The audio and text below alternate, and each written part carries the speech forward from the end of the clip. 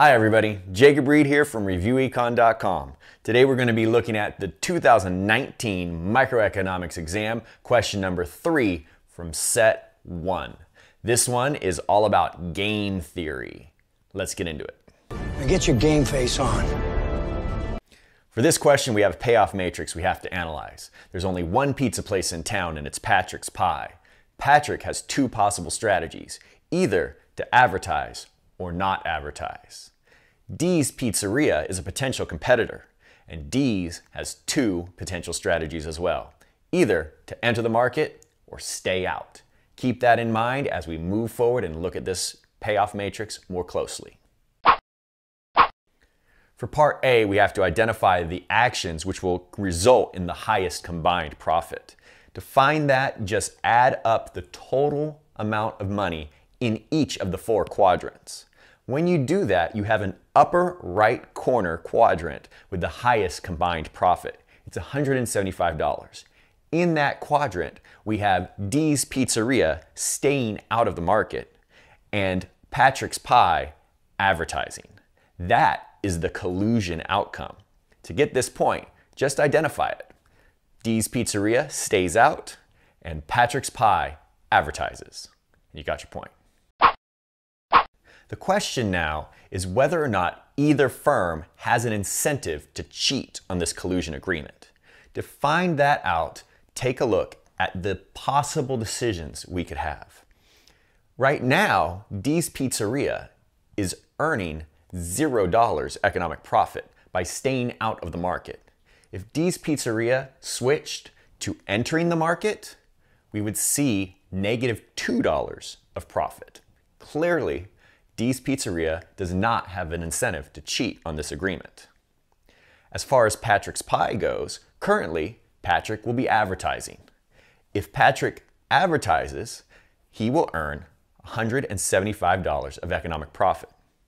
If he chooses to not advertise, his profit drops to $100. That also means Patrick does not have an incentive to cheat. In order to get this point, answer using the numbers. No, Dee's profit would decrease from zero to negative $2, and Patrick's would decrease from $175 down to $100. Make sure you explain fully using the numbers in order to get these points. For part C, we have to identify whether or not Patrick's Pie has a dominant strategy. Remember the definition of a dominant strategy here. It's a strategy that is chosen regardless of what the other firm does. In order to figure that out, we have to put ourselves in the mind of Patrick's Pie. And when Patrick is deciding what he might do, he has to consider what D might do. If he thinks that D is going to enter the market, then he is in this column. Patrick must choose between $50 of profit and $150 worth of profit. Since $150 worth of profit is better, if he believes that D is going to enter the market, then he should not advertise because he will earn more profit. If, on the other hand, he thinks that D is going to stay out of the market, then he is operating in this column. And then Patrick has to choose between $175 of profit or $100 of profit. Here, $175 is again better, and that means if he thinks that D is going to stay out of the market, then advertising is a better choice. Since his best choice is dependent on what D does, he does not have a dominant strategy. And to get this point, you just have to say no. For part D, we have to identify any Nash equilibria that there are in this payoff matrix. We've already partially solved it, but now we have to think about D and what D might do. And when D is considering his options, he must think about potential actions of Patrick's Pie. If he thinks that Patrick's Pie is going to advertise, then he is in this column. And D must decide whether to enter the market or to not enter the market. If he chooses to stay out, he will earn $0 economic profit. If he chooses to enter the market, he loses $2.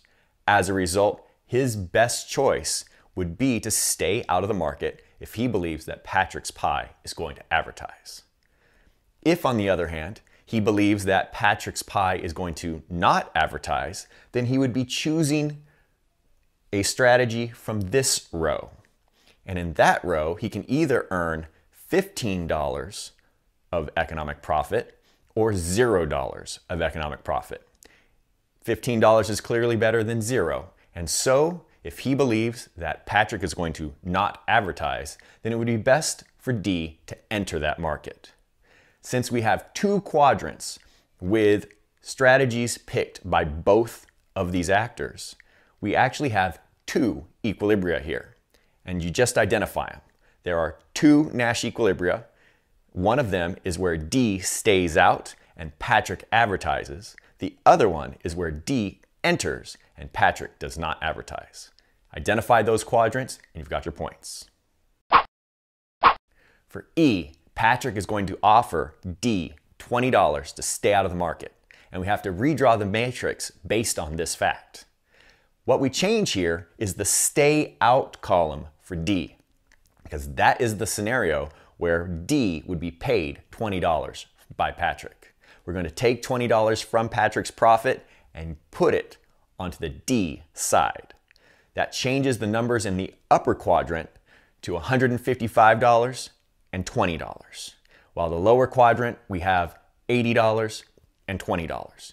If you drew that correctly with those different values, you've got your point here. Now we have to solve this payoff matrix and find the Nash equilibrium. There's only one this time.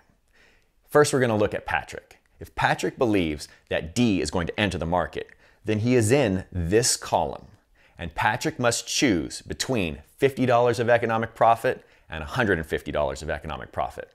Since $150 is better, Patrick is going to choose to not advertise if he thinks that D will enter the market.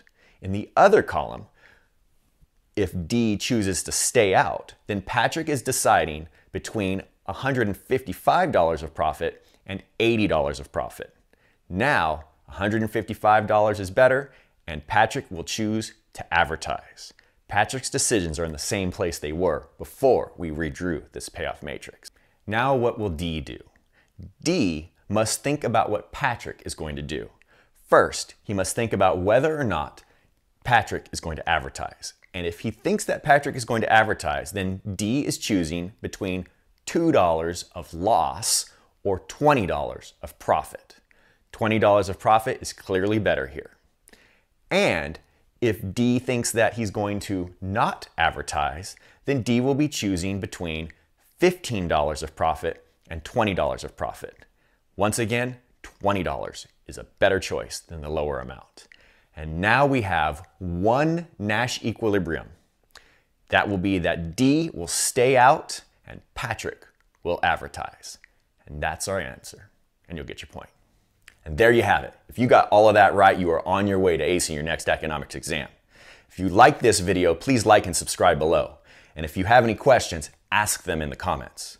Then head over to reviewecon.com where you can find lots of games and activities to help you practice the skills necessary in economics. If you want to support this channel even more, head over to reviewecon.com and purchase the Total Review booklet everything you need to know to do well on the microeconomics and macroeconomics exams.